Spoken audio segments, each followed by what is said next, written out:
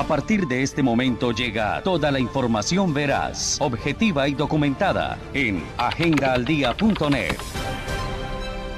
Un agradecimiento a los organismos de socorro, a la Policía Nacional y al Ejército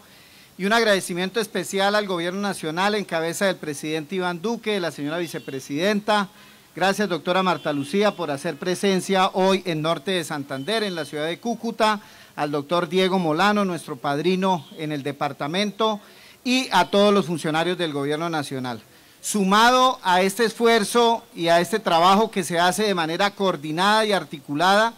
quiero informarle a todos los norte santanderianos que desde el mes de septiembre venimos atendiendo esta ola invernal. Se han asignado más de 2.500 millones de pesos desde el gobierno departamental, no solo para fortalecer la capacidad de respuesta de los organismos de socorro, defensa civil y cuerpo de bomberos voluntarios de Norte de Santander. El día de ayer hicimos giro directo a las alcaldías municipales por 1.200 millones de pesos para fortalecer la capacidad de respuesta en la atención a la eh, situación de emergencia que se presenta en las vías secundarias y terciarias de nuestro departamento. De la misma manera, en un esfuerzo que se hace desde el gobierno departamental, a partir del día lunes pondremos en funcionamiento tres combos de maquinaria amarilla para atender las emergencias en las vías secundarias de norte de Santander. Esta maquinaria amarilla corresponde a una dotación que se hizo desde la Unidad Nacional de Gestión del Riesgo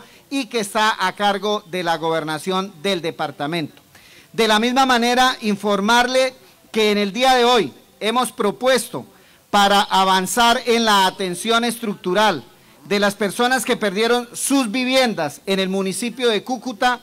una posibilidad de asignarle 5 mil millones de pesos a un proyecto de vivienda para poder atender y darle una solución a esas personas que lo han perdido todo en el sector de la comuna número 8. Y de la misma manera con la Corporación Autónoma Regional Corponor, dos mil millones de pesos, mil millones de pesos que pondrá la corporación y mil millones de pesos que pondrá la gobernación de Norte de Santander para obras de mitigación en donde se requieran. Esta es una acción que corresponde al Sistema Nacional de Gestión del Riesgo y a una articulación entre el gobierno nacional, el gobierno departamental y las administraciones municipales y en especial con la administración de San José de Cúcuta. Muchas gracias. Agendaldía.net